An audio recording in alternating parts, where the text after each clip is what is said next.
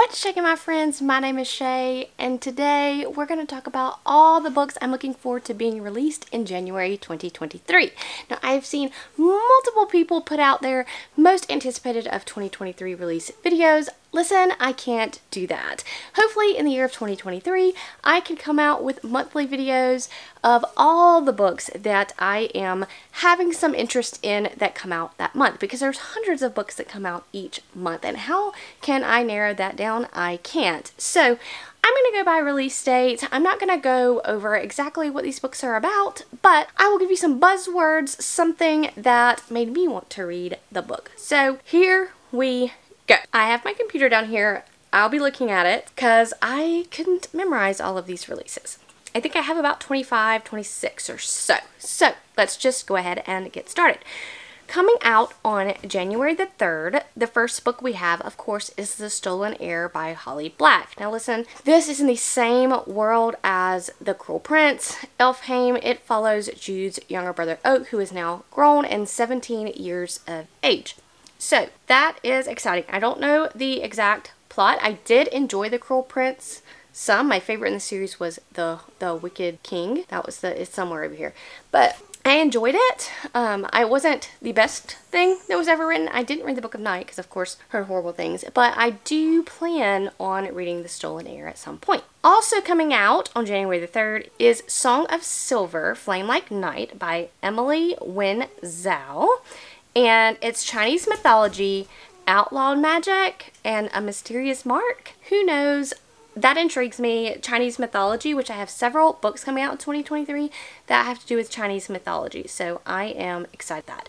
And then also on January the 3rd, we have Age of Vice by Deep T. Kapoor. I don't know if I'm pronouncing that name right. I apologize. It is Gangsters and Lovers, False Friendships, Forbidden Romance, and the Consequence of Corruption. So I'm down for that. So that's all for January 3rd.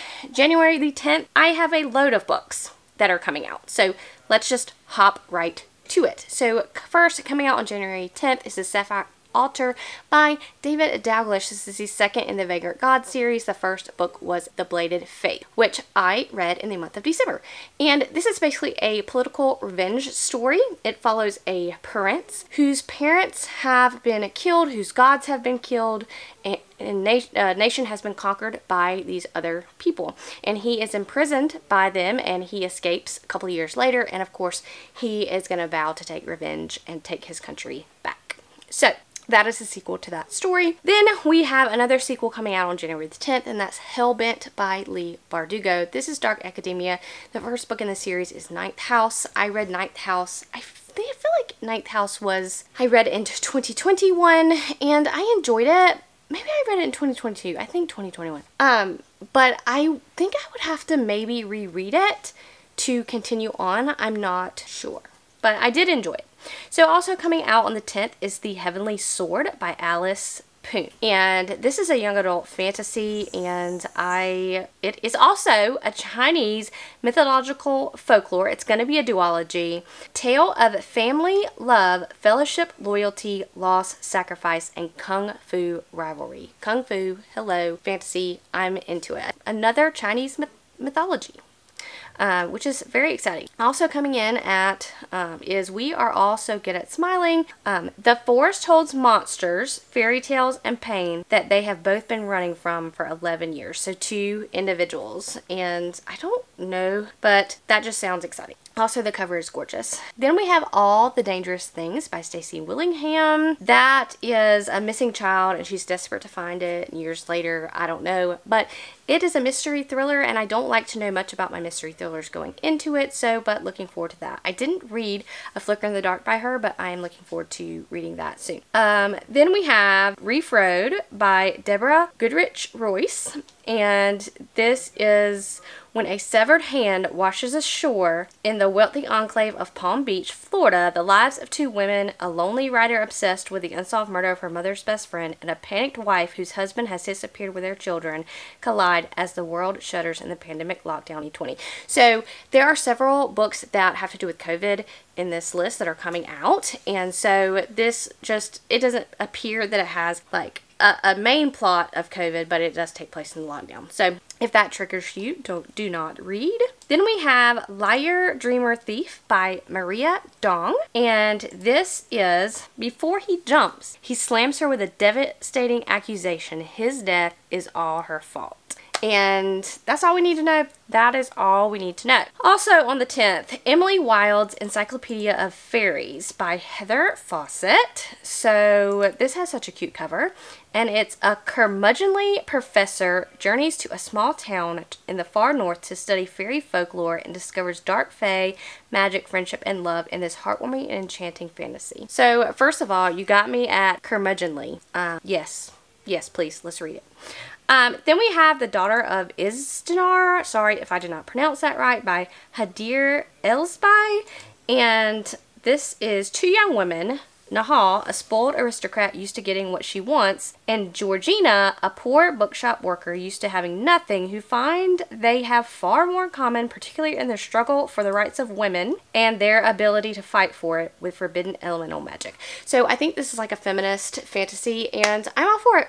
I'm up for it. Let's go. Still on the 10th, we have City of a Nightmares by Rebecca Schaeffer. And the thing I wrote down for this is a cowardly girl who finds herself at the center of a criminal syndicate conspiracy in a city where crooked politicians and sinister cult reign and dreaming means waking up as your worst nightmare. So this is a fantasy horror novel and I haven't read a lot of fantasy horror but I'm into it. I'm into it and I can't wait to read it. And then finally on January the 10th we have The Nightmare Man by J.H. Markert and this says a horror novelist's writings start to become real.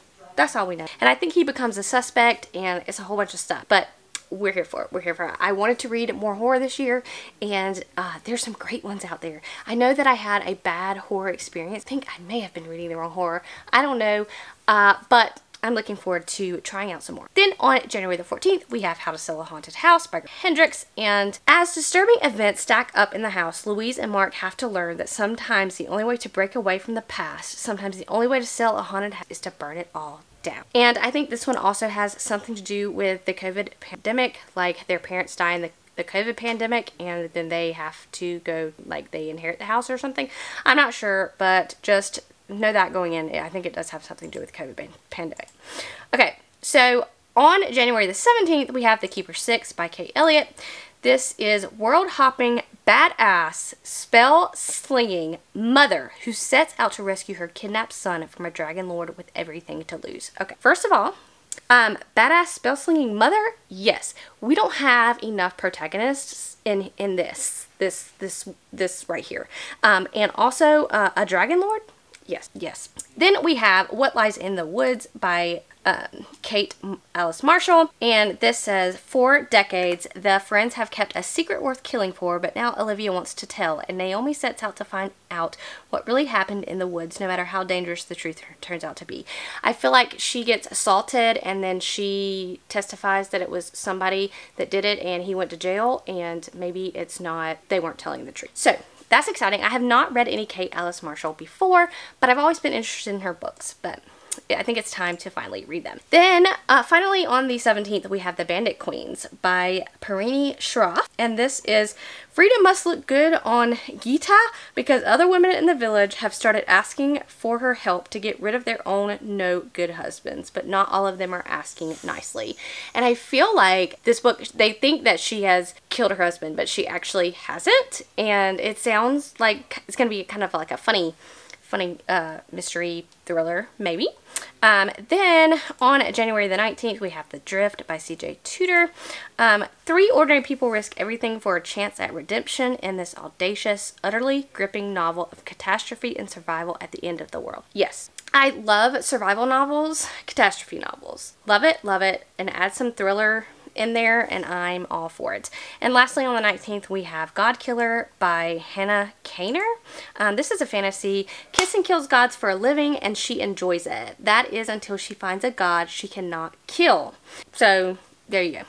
I the, the cover of God Killer is stunning. Of course I'll pop it up here but it's stunning. Then we have another horror starting out on January the 25th 4th, and that's going to be All Hallows by Christopher Golden. And three odd children claim that the cunning man is coming for them and they want the local kids to protect them. But with families falling apart and the neighborhood splintered by bitterness, who will save the children of Parma Road? So I'm all down for horror, horror again this year, and that's all I have to say about that.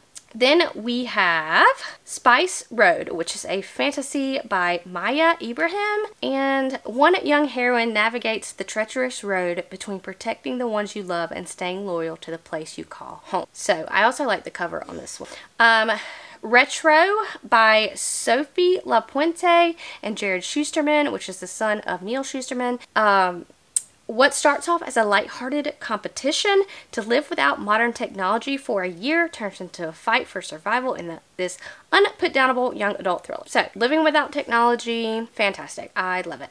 Then, uh, finally on the 24th, we have episode 13 by Craig DiLouie. I apologize if I'm not pronouncing any of these names right. So, um, episode 13. A ghost hunting reality TV crew gain unprecedented access to an abandoned and supposedly haunted mansion, which promises a groundbreaking 13th episode. But as they uncover the secret history of the house, they learn that reality TV might be all too real. So, another kind of real things are coming in real life. Okay. Um, then on the 31st, we're getting Vampire Weekend by Mike Chen. I've never read anything by Mike Chen, but his works have always really intrigued me, and of course, Vampire. And as a fan uncovers Louise's true identity, things get dangerous, especially when he asks her for the ultimate favor, one that goes beyond just family, one that might just change everything vampires know about life and death forever. And I don't think these vampires are really like the vampires that we see. Like, like I think they just live normal lives. And I guess it sounds like somebody's going to ask her to turn him into a vampire, and it's going to going to get dicey. And then finally, my final book in January is probably my most anticipated out of the entire month, and that's going to come out on January 31st as well.